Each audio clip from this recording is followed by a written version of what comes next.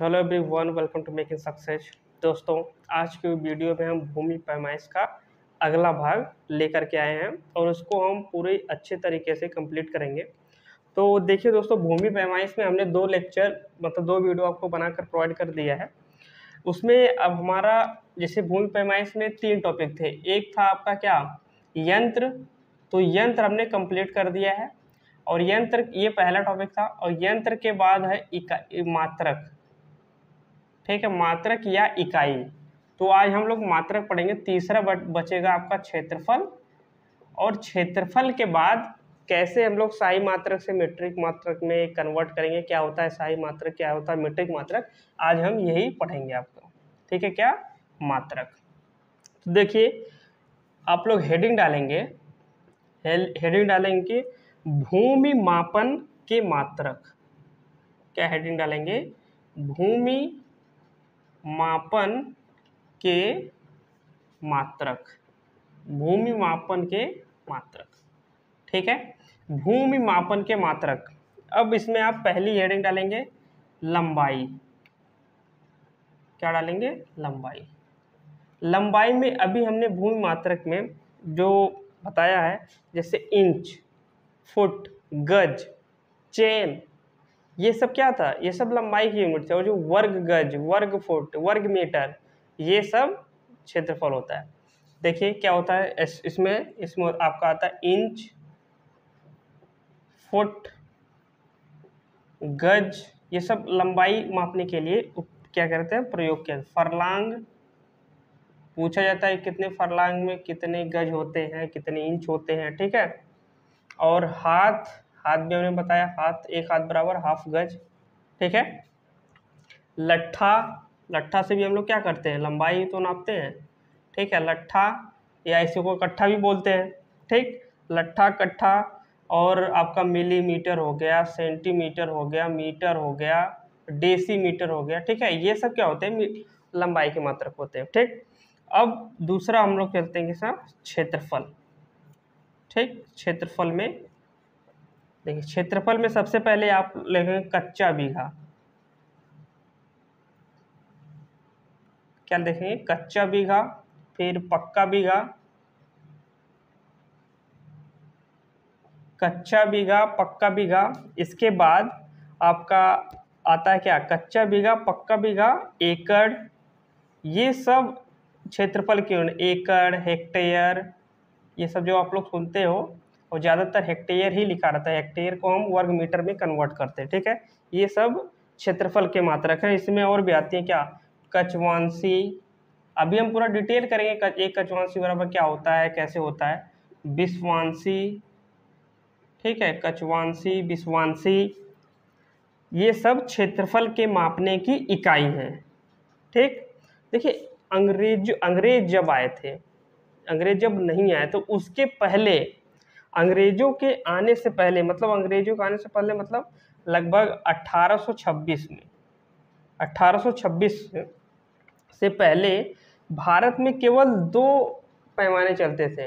अंग्रेज़ों से आने से पहले 1826 से पहले भारत में भारत में केवल दो पैमाने चलते थे।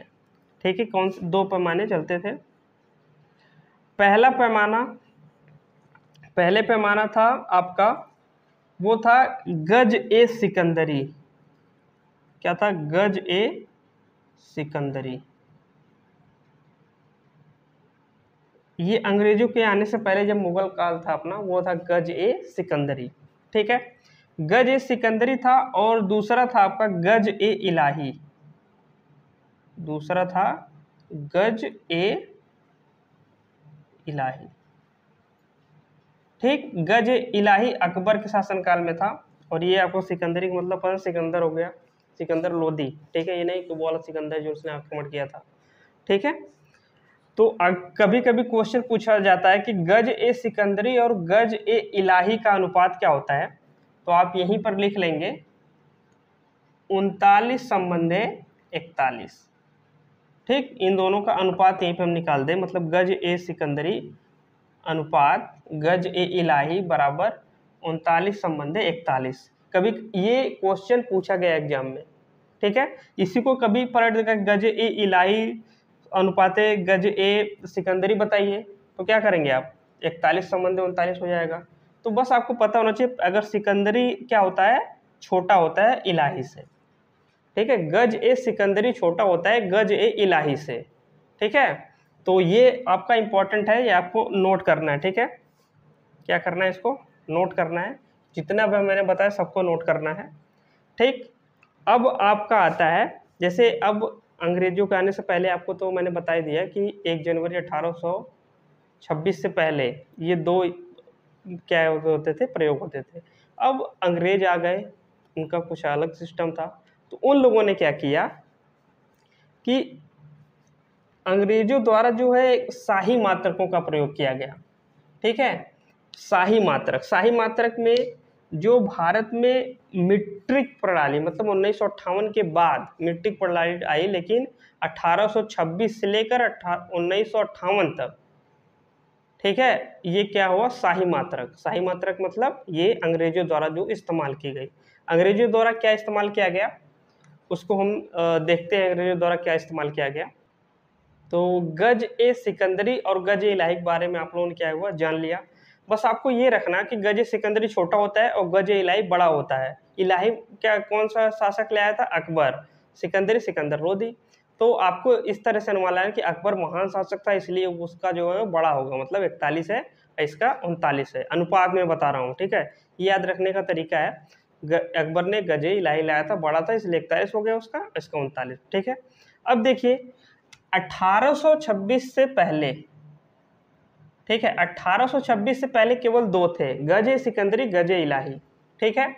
अब 1826 से लेकर उन्नीस सौ अट्ठावन तक, अब आ गए आपके अंग्रेज़, अंग्रेज़ों ने क्या किया? शाही मात्रक लेके आए, क्या लेके आए? शाही मात्रक। कभी कभी ये पूछा जाता है कि इनमें से शाही मात्रक है तो शाही मात्रक में क्या क्या हो जाएगा आपका? ये लंबाई में अगर लिया जाए तो लंबाई में आ जाएगा शाही मात्रक में इंच, गज, फुट, ये सब अंग्रेज़ों द्वारा इस्तेमाल किया जाता था। यही सब लेकर आए अंग्रेज़ी, इंच, गज, फुट, ठीक है? यार्ड यार्ड मीन्स यही गज ही होता है, यार्ड मीन्स, ठीक है? इसकी इंग्लिश है यार्ड, इत्यादि बहुत सारे। ये लंबाई के मात्रक हो गए। अंग्रेज़ों ने लेके आए, ठीक है? अब लंबाई के मात्रक हो गया। अब यहाँ पे क्षेत्रफल की मात्रक देख लेते हैं हम। क्षेत्रफल के अंग्रेज़ों द्वारा जो लेके आए, क्या?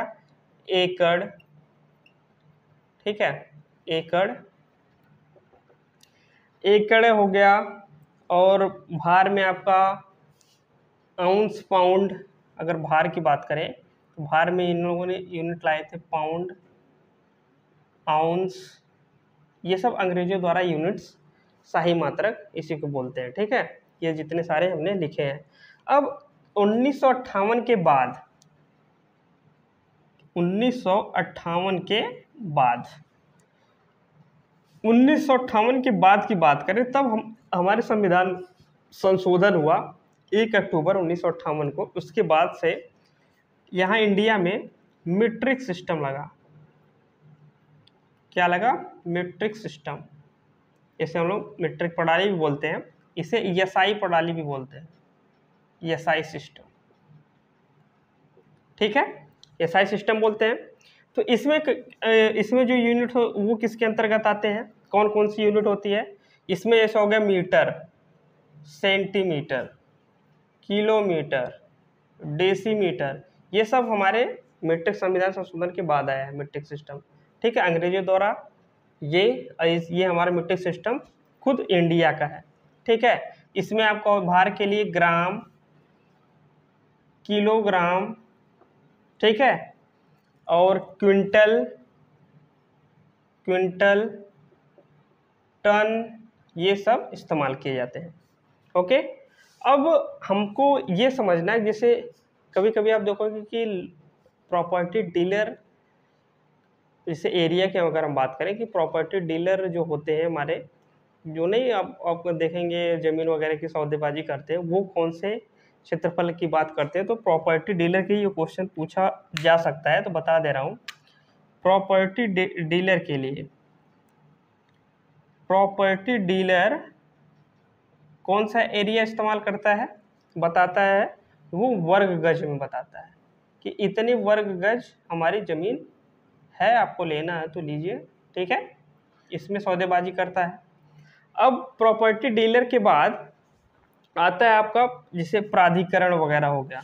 अथॉरिटी नहीं होती, प्राधिकरण। इंग्लिश इसकी होती है अथॉरिटी तो वो लोग बात करते हैं वर्ग मीटर में। किसमें? वर्ग मीटर में। ठीक? प्रॉपर्टी डीलर वगैरह, ये सब वर्ग मीटर में बात करते हैं। ठीक है? और आप लोग जो ज़मीनों का दे, देखते होंगे कि ज़मीनों को हम लोग जो क्षेत्रफल होता है वो हेक्टेयर में हेक्टेयर में कौन सी ज़मीन? जो आप खतौनी वगैरह में देखेंगे मतलब दस सरकारी दस्तावेजों में हेक्टेयर में ज़मीन क्या होती है? लिखी होती है। कितनी हेक्टेयर ज़मीन है उसमें? ठीक है? तो ये आपका तीनों चीज़ ये प्रॉपर्टी डीलर क्या इस्तेमाल करता है? वर्ग गज प्राधिकरण मतलब अथॉरिटी होता है। ठीक है? अथॉरिटी क्या करता है आपका? वर्ग मीटर और ये हेक्टेयर में होता है, किसका? सरकारी दस्तावेजों में खेत का क्षेत्रफल। ठीक है, ये सब तीनों क्षेत्रफल ही हैं। कुछ एक्स्ट्रा नहीं बताया मैंने, ठीक है? तो सरकारी दस्तावेजों में किसमें इस्तेमाल किया जाता है? हेक्टेयर में, जैसे खसरा हो गया, खतौनी हो गया, उसमें जब ज़मीन देखेंगे आप तो हेक्टेयर में लिखी रहती है, ठीक है? उसमें वर्ग वर्ग वर्ग मीटर इन सबों में नहीं लिखी रहती है, ठीक है? अब हमारा अगला टॉपिक है किस लंबाई के, किसके? लंबाई के लंबाई के शाही मात्रक। ठीक है? लंबाई के शाही मात्रक। लंबाई के शाही मात्रक। अब लंबाई के शाही मात्रक में जैसे आप, जैसे गाँव देहात से तो होंगे ही, आपको ये लगे, देखो, जौ। जैसे एक गेहूँ की फ़सल होती है, एक जौ की। तो यहाँ पे लिखेंगे थ्री बारले, ठीक है? थ्री बारले मतलब तीन जौ, ठीक है? यहाँ थ्री बारले कॉइन, या यहाँ पे लिखोगे तीन जौ। तीन जौ को अगर रख दिया जाए तो उसके इक्वल टू जो लंबाई आती है, उसको हम लोग बोलते हैं वन इंच, ठीक? तो इंच की पैदावार यहाँ से हुई है जौ से, ठीक है? अब देखिए, एक एक इंच बराबर हो गई आपकी थ्री बारले कॉइन ठीक है? और आपको इतना पता है कि एक फुट बराबर क्या होता है? बारह इंच इतना तो मैंने बहुत सारे वीडियो में बता दिया। और एक गज बराबर। ये सब शाही मात्रक हैं, अठारह सौ छब्बीस, उन्नीस, अट्ठावन तक इन्हीं का उपयोग किया गया है हमारे देश में। ठीक है? एक गज बराबर तीन फुट ओके इसके बाद एक चैन मैंने बता दिया, चैन क्या होती है? गंटरी जरीब की आधे, आधा। ठीक है? एक चैन क्या हो गया? बाईस गज। गंटरी जरीब चौवालीस गज की होती है। पिछले वीडियो मैंने सारा डिटेल बना बताया है। एक दो वीडियो जो डाला है जरीब के बारे में। ठीक है? वो वहाँ पर जाइए, उसको वॉच करिए। बहुत इंपॉर्टेंट वीडियो है। यहाँ से दो तीन क्वेश्चन आते हैं, इसलिए तीन चार लेक्चर लग जाएँगे इसमें। ठीक? अभी हम याद करने का तरीका बताते हैं, याद कैसे करने से एक फरलांग, ये क्वेश्चन आपका इम्पोर्टेंट है। कि अगर आपसे पूछा जाए कि एक फरलांग बराबर कितना इंच होगा तो सबसे पहले इसको हम बताते हैं, दस चेन के बराबर होता है।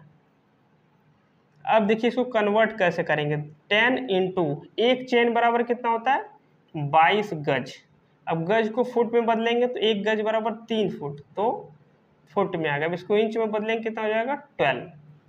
क्योंकि एक फुट बराबर ट्वेल्व इंच अब इसको डायरेक्टली हम मल्टीप्लिकेशन करके इंच में लिखेंगे तो मल्टीप्लिकेशन आप लोग कर लीजिएगा। वैसे seven nine seven nine two zero inch ऐसे समथिंग आएगा, ठीक है? तो इतना इंच हो गया। फरलांग के बारे में अगर एक मील पूछा जाए, बात नहीं कर सकते, तीन मील दूरी या चार मील दूरी, आज तक आप लोग नहीं पता होगा तो आज जान लीजिए, एक मील बराबर होता है आठ फरलांग। क्या होता है? आठ फरलांग। एक मील इक्वल टू आठ फरलांग। और आठ फरलांग का मतलब क्या हो गया? एट इंटू एक फरलांग बराबर टेन चेन होता है तो टेन इंटू चेन मतलब अस्सी चेन अस्सी चेन आ गया। एक चेन बराबर बाईस गज मतलब ऐसे कन्वर्ट करके आप इसको इंच में बदल सकते हो, ठीक है? इंच में जब आप इसको बदलोगे तो आएगा six thirty three six zero inch six thirty three, six zero inch. Convert कैसे होगा? देखिए, अस्सी, एक चेन बराबर कितना? बाईस गज। एक गज में कितने फुट? तीन फुट। एक फुट में कितने इंच? ट्वेल्व। तो इसका मल्टीप्लीकेशन करेंगे तो ये आएगा। ठीक है? यहाँ तक तो आपको क्लियर होगा कि ये हमारे शाही मात्रक है।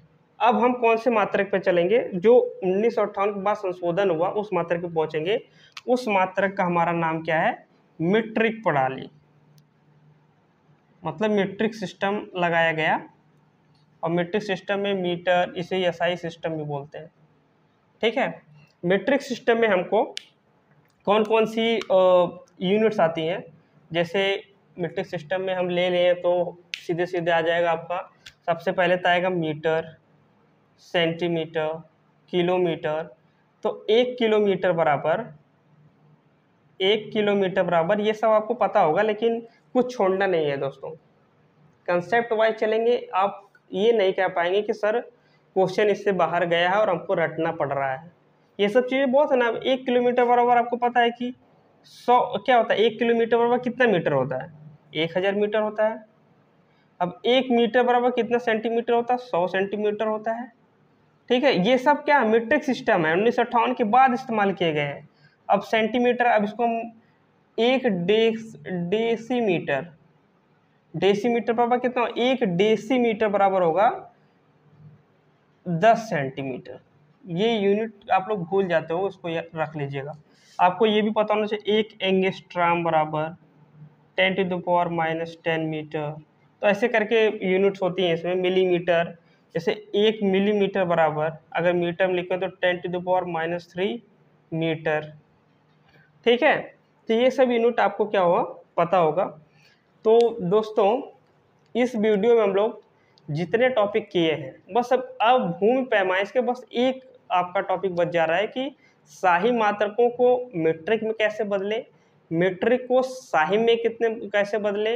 एकड़ हेक्टेयर ठीक है, बीघा, कच्चा बीघा, पक्का बीघा, ये सब जितनी चीज़ें हैं, अब आपको अगली वीडियो में हम टोटली कंप्लीट प्रोवाइड करवा देंगे और ये वीडियो आपको अगर अच्छी लगी होगी तो चैनल को सब्सक्राइब करिए, कमेंट करके ज़रूर बताइए। Thanks for watching this video see you next time